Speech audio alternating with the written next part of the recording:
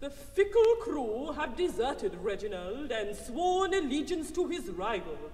And all, forsooth, because he has glanced with passing favor on a puling milkmaid. Fools! Of that fancy he will soon weary, and then I, who alone am faithful to him, shall reap my reward. But do not dally too long, Reginald, for my charms are ripe, Reginald, and already they are decaying. Better secure me, ere I have gone too far.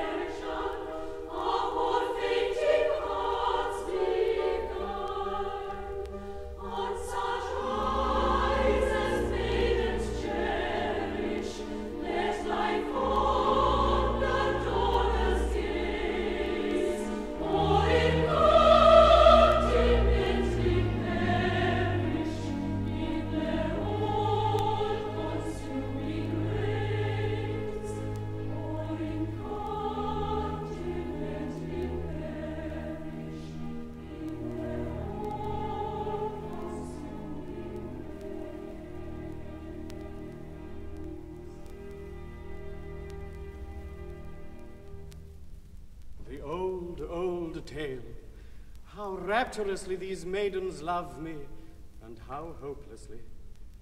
Oh, patience, patience, with the love of thee in my heart, what have I for these poor mad maidens but an unvalued pity? Alas, they will die of hopeless love for me, as I shall die of hopeless love for thee. Sir, will it please you read to us? Yes, child, if you will. What shall I read? One of your own poems. One of my own poems? Better not, my child. They will not cure thee of thy love. Mr. Bunthorne used to read us a poem of his own every day. And to do him justice, he read them extremely well. Oh, did he so? Well, who am I that I should take upon myself to withhold my gifts from you? What am I but a trustee? Here is a decalet, a pure and a simple thing, a very daisy, a babe might understand it. To appreciate it, it is not necessary to think of anything at all.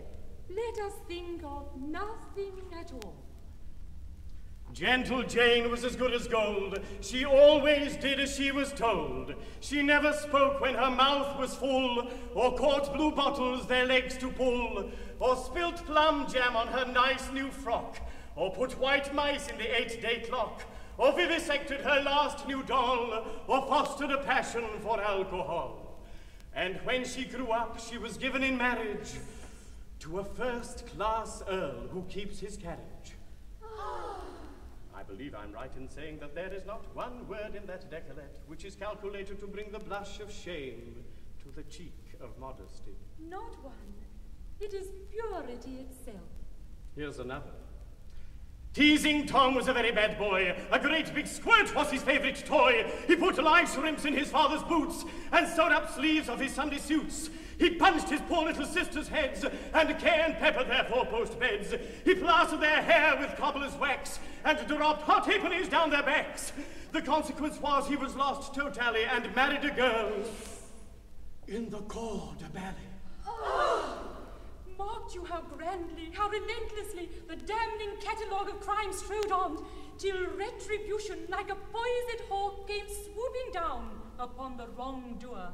Oh, it was terrible. Oh, sir, you are indeed a true poet, for you touch our hearts, and they go out to you. This is simply cloying. Ladies, I am sorry to appear ungallant, but this is Saturday, and you have been following me about ever since Monday. I should like the usual half holiday. I shall take it as a personal favor if you will kindly allow me to close early today. Oh, sir, do not send us from you. Poor, poor girls. It is best to speak plainly. I know that I am loved by you, but I never can love you in return, for my heart is fixed elsewhere. Remember the fable of the magnet and the churn? But we don't know the fable of the magnet and the churn. Don't you? Then I will sing it to you.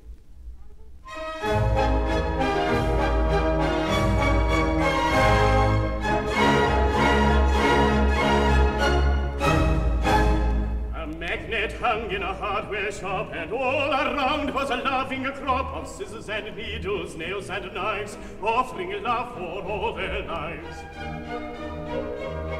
but for I the magnet felt no whim. Though he charmed and it charmed not him. From needles and nails and knives he turn for he set his love on a silver churn. A silver churn? A silver churn is most aesthetic, very magnetic, fancy took this turn. If I can wheedle a knife or a needle, why not a silver churn? It's most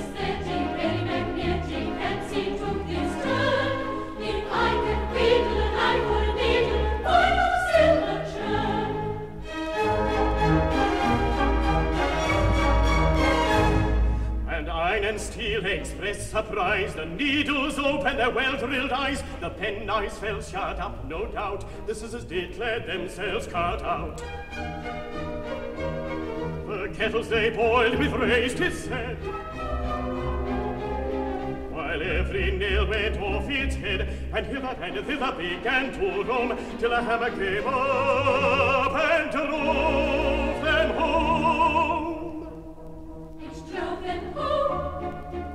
them home.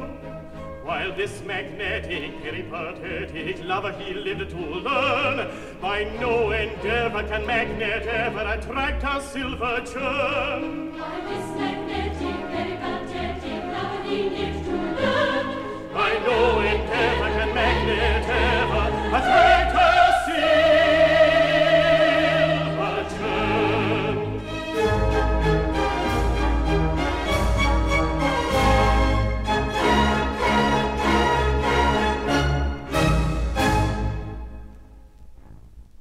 Last they are gone. What is this mysterious fascination that I seem to exercise over all I come across? A curse on my fatal beauty, for I am sick of conquests. Archibald, Patience. I have escaped with difficulty from my Reginald. I wanted to see you so much that I might ask you if you still love me as fondly as ever. Love you? If the devotion of a lifetime. Hold! Unhand me or I scream! If you are a gentleman, pray remember that I am another's. But you do love me, don't you? Madly, hopelessly, despairingly. That's right. I never can be yours, but that's right. And you love this Bunthorne? With a heart-whole ecstasy that withers and scorches and burns and stings. It is my duty. Admirable girl. But you are not happy with him? Happy? I am miserable beyond description. That's right. I never can be yours, but that's right. But go now. I see dear Reginald approaching. Dear Reginald. Farewell, dear Archibald. I cannot tell you how happy it has made me to know that you still love me. Oh, Dad. Sir, this language to one who has promised to another. Oh, Archibald, think of me sometimes, for my heart is breaking. He is so unkind to me, and you would be so loving. Loving. Advance one step, and as I'm a good and pure woman, I scream. Farewell, Archibald. Stop there. Think of me sometimes. Advance at your peril. Once more. Adieu.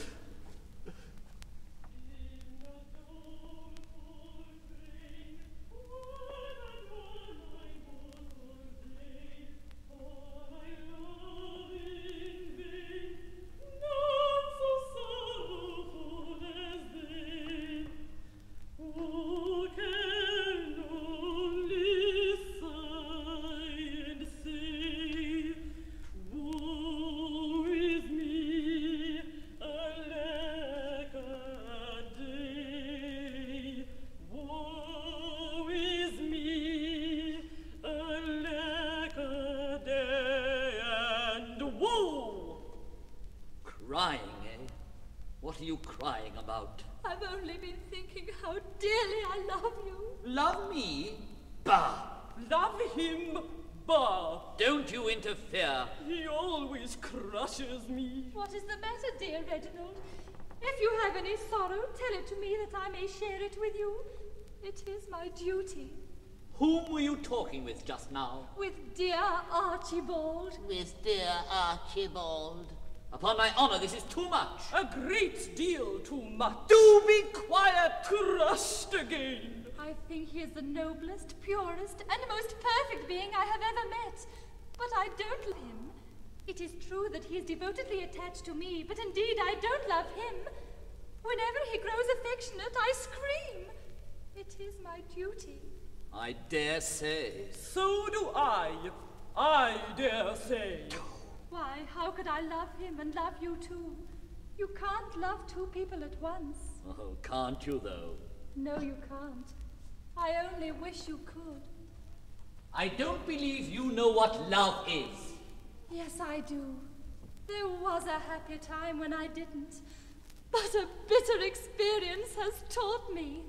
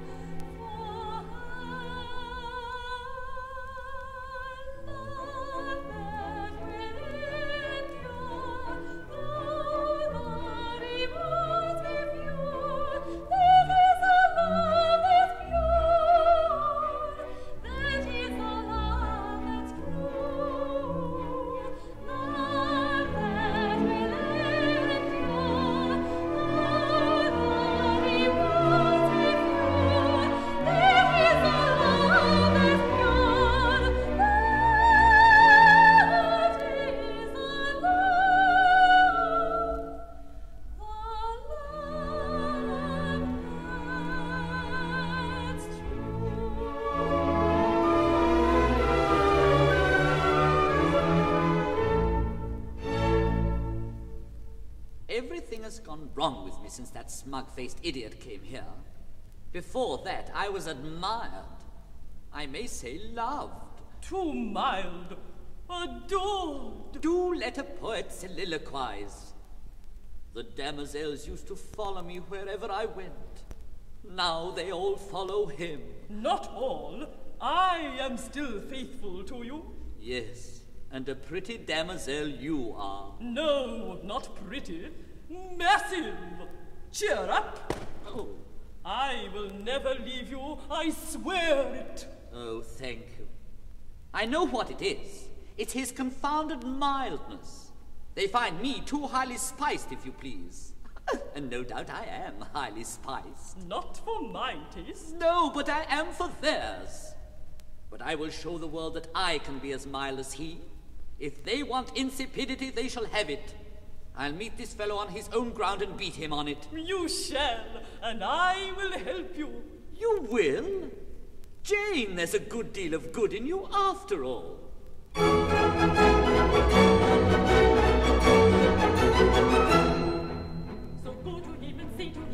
compliment I rhombicum. Sing hate you, good date you, and that's what I shall say. Your style is much too sanctified, your cut is too canonical. Sing hard you, ha ha you, and that's what I shall say. I was the beau ideal of the morbid young aesthetical. To doubt my inspiration was regarded as heretical, until you cut me out with your placidity vertical. Sing boo you, poo poo you, and that's what I shall say. Sing boo you, poo poo you, and that's what I shall say.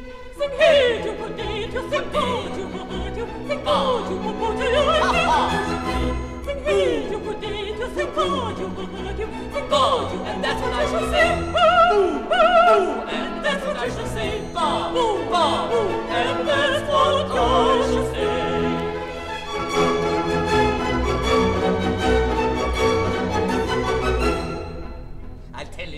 Unless he will consent to be more jocular, to poo poo to and that's what you should say. to cut his curly hair and stick an eyeglass in his ocular, Sing boo to ho ho to and that's what you should say. to stuff his conversation full of quibble and of quiddity, to dine on chops and roly-poly pudding with avidity, he'd better clear away with all convenient rapidity. Sing hey to good day to you, and that's what you should say. Sing boo to, poo poo to, and that's what I shall say.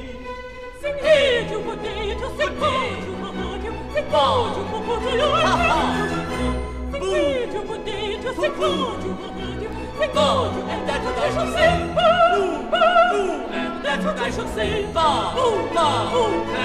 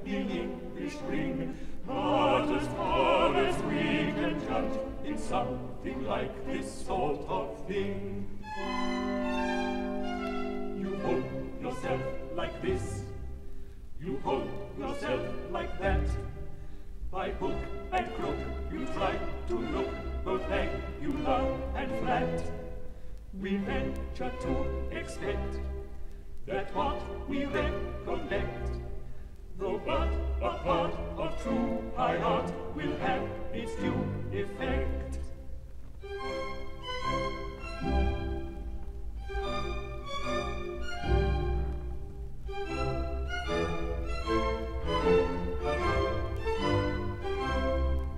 If this is not exactly right, we hope you won't upbraid. You can't get high aesthetic taste like trousers ready made. Through views on medievalism, time alone will bring. But as far as we can judge, it's something like this sort of thing. You hold yourself like this. You hold yourself like that. By hook and crook you try to look perpendicular and flat To cultivate the trim rigidity of limb You want to get a marionette and form your style on him.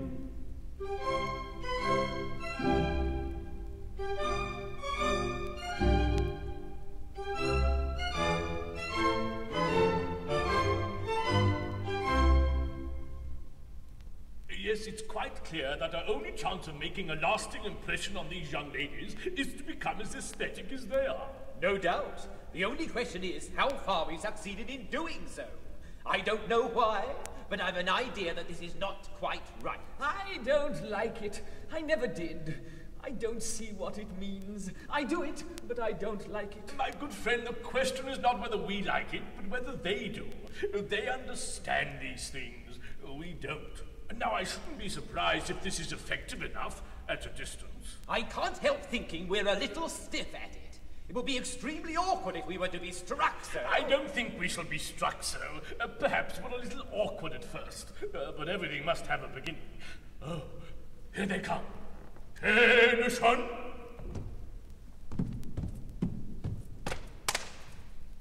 Oh, Saphir, see, see! The immortal fire has descended on them, and they are of the inner brotherhood, perceptibly intense and consummately utter. How Botticellian! How Fra Angelican! Oh, art, we thank thee for this boon. I'm afraid we're not quite right. Not supremely, perhaps, but oh, so all but. Oh, Saphir, are they not quite too all but? They are indeed jolly utter. I wonder what the inner brotherhood usually recommend for cramp. Uh, ladies, we will not deceive you. We are doing this at some personal inconvenience, with a view of expressing the extremity of our devotion to you. Uh, we trust that it is not without its effect. We will not deny that we are much moved by this proof of your attachment. Yes, your conversion to the principles of aesthetic art, in its highest development, has touched us deeply. And if Mr. Grosvenor should remain obdurate, which we have every reason to believe he will. Oh, I wish they'd make haste. We are not prepared to say that our yearning hearts will not go out to you. By six and for threes, rapture. Oh, it's extremely good. For beginners, it's admirable. The only question is, who will take who? Oh, the Duke chooses first as a matter of course. Oh, I couldn't think of it. You're really too good. Nothing of the kind. You are a great matrimonial fish, and it's only fair that each of these ladies should have a chance of hooking you.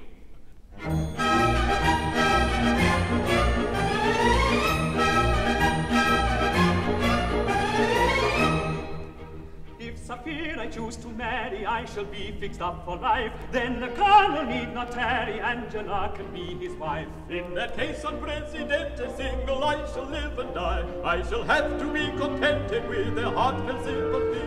He will have to be contented with a heartfelt sympathy. In that case, a single, I will live and die. I shall have to be contented with a heartfelt sympathy.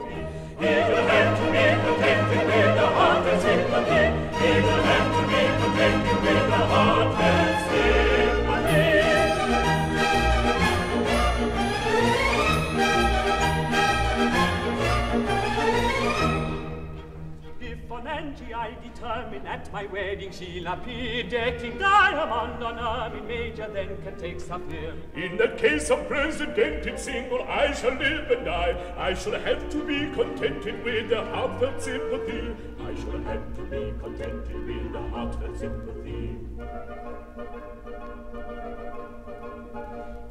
Case of presidented single, I shall live and die. I shall have to be contented with a heartfelt sympathy. I shall have to be contented with a heartfelt sympathy. I shall have to be contented with a heartfelt sympathy.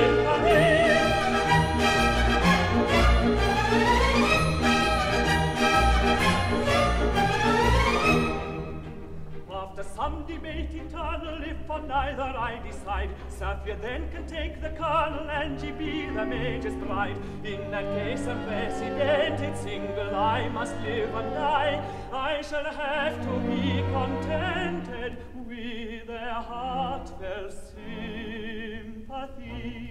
Have to be contented with their heartfelt sympathy. In the case of precedented, single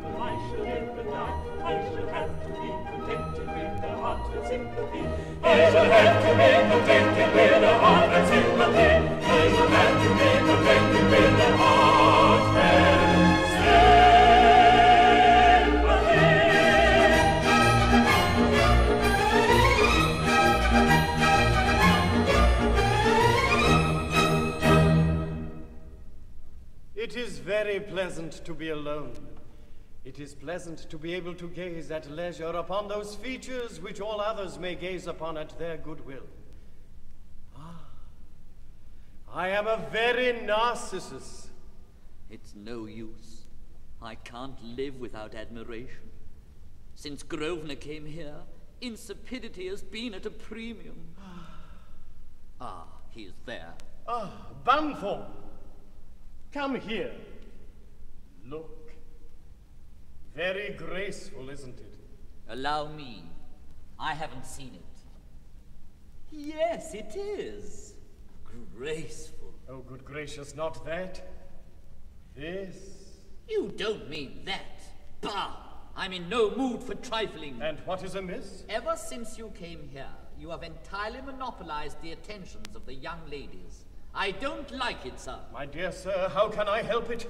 They are the plague of my life. Dear Mr. Bunthorne, with your personal disadvantages, you can have no idea of the inconvenience of being madly loved at first sight by every woman you meet. Sir, until you came here, I was adored. Exactly, until I came here. That's my grievance. I cut everybody out. Oh.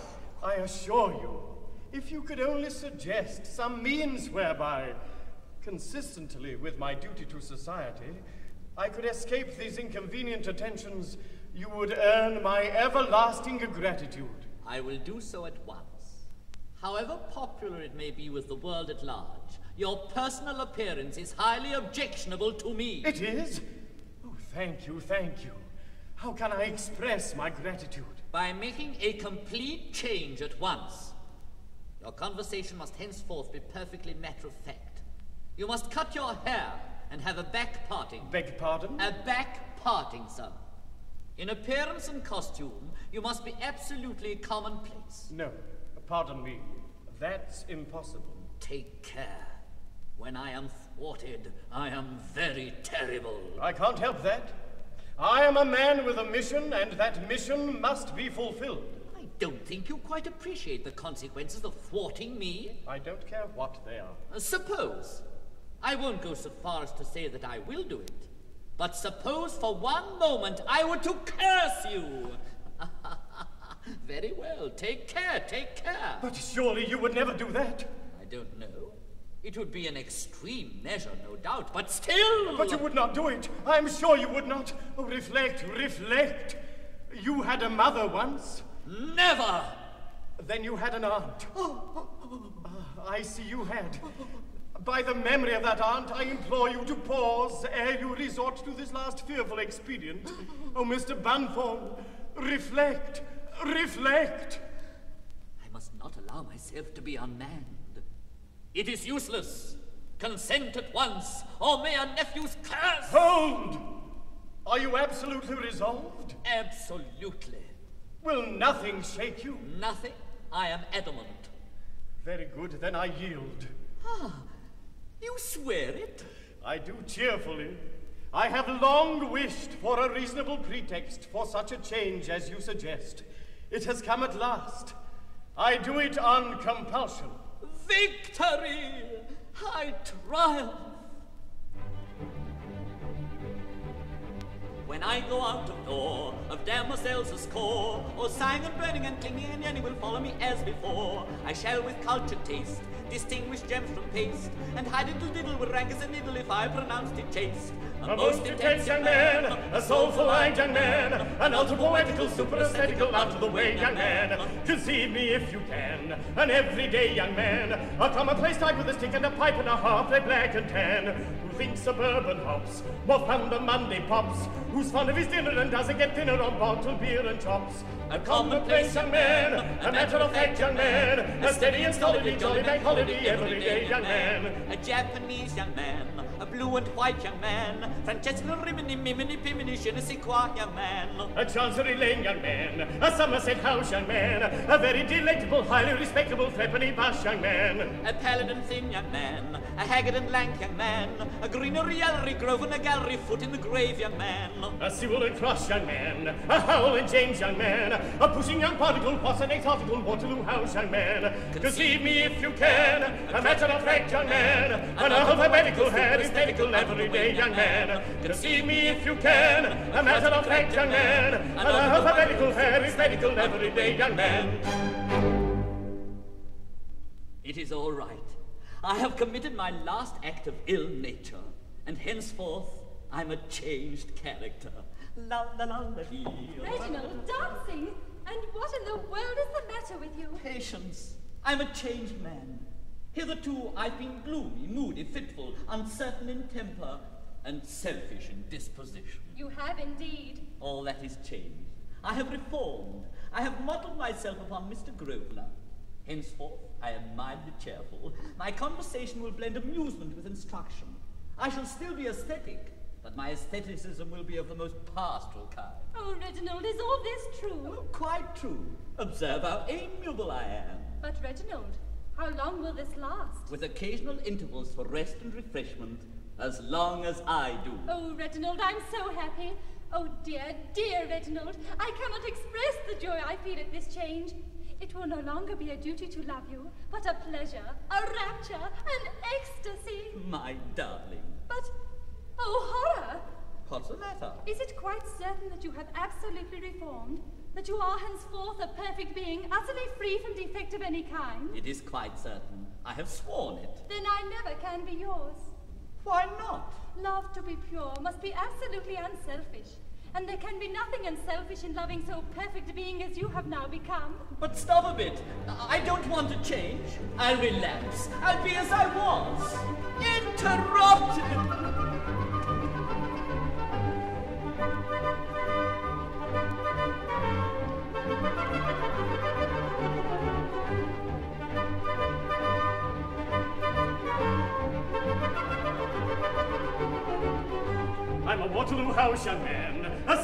Sewell Cross young man, a steady as Tolliday, jolly bank holiday, everyday young man.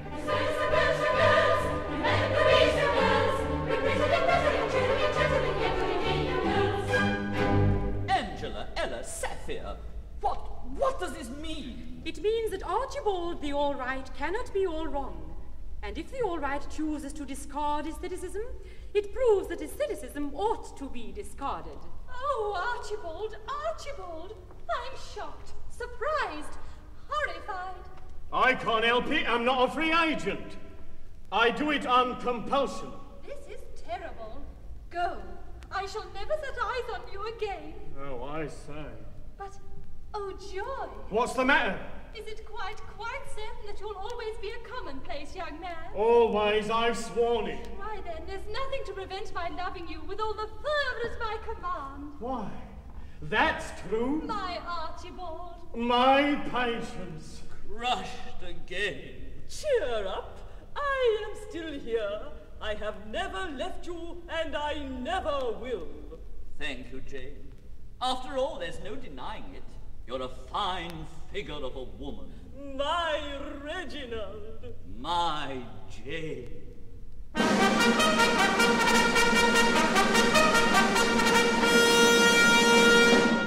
Ladies, the Duke has at length determined to select a bride. I have a great gift to bestow. Approach such of you as are truly lovely. In personal appearance, you have all that is necessary to make a woman happy. In common fairness, I think I ought to choose the only one among you who has the misfortune to be distinctly plain. The duke! Crushed again.